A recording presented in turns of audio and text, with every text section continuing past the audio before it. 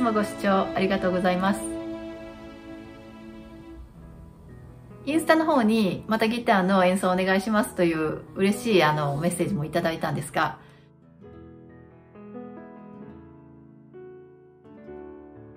えー、私あのカッチーニのアベマリアがすごい好きで、えー、アベマリア、シューベルトとカッチーニと2つあるんですが、このカッチーニの方がね、すごく好きで、で、できたら、まあ、クリスマスあたりにこれを弾きたいなと思って、で、自分で調達したギターの楽譜をちょっと弾いてみたんですね。そしたらすっごい素敵で、で、ギターレッスンでは今ロマンスという曲をやってるんですが、ギター教室で習ってる曲じゃなくてこっちの方ばっかり 弾いちゃうようになりまして、で前回このアベマリアのわかんないとこだけをちょっと聞こうと思って印をいろいろつけていったんですが、もう自分がね、やってたのとね、違ってたことばっかりで、で、もう質問がどんどんどんどん出て、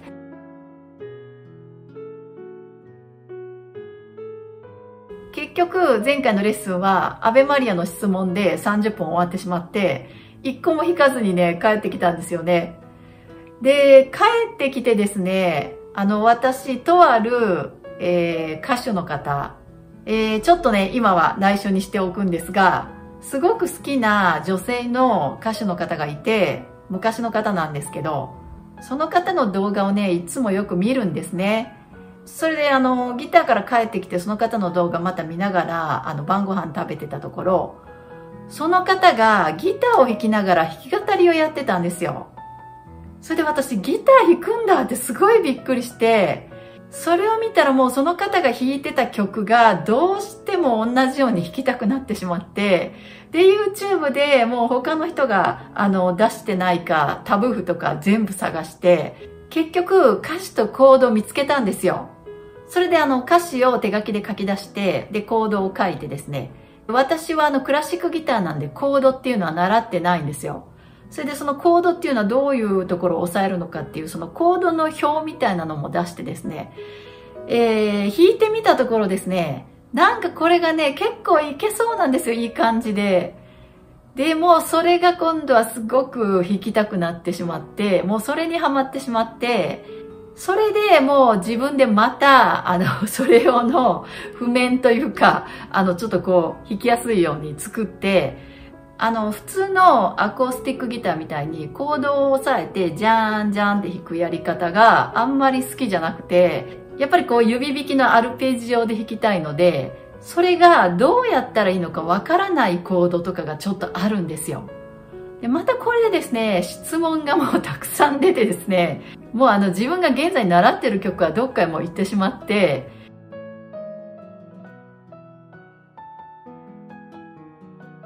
れで私、あの、いろんなことにこだわりがあると、まあ、周りから言われてるんですが、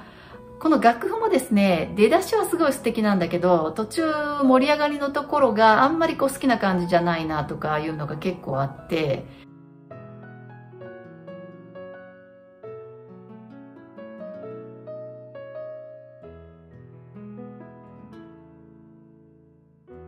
まあ、このギターの方の楽譜はですね、ファがシャープなんですね。なので、このピアノの方も合わせて、ファがシャープに最初書き直してたんですけど、最初の方は、あ、これでいけると思って書き直してたんですけど、だいぶ進んでから弾いてみると、もう音が低すぎてですね、全然綺麗じゃなくて、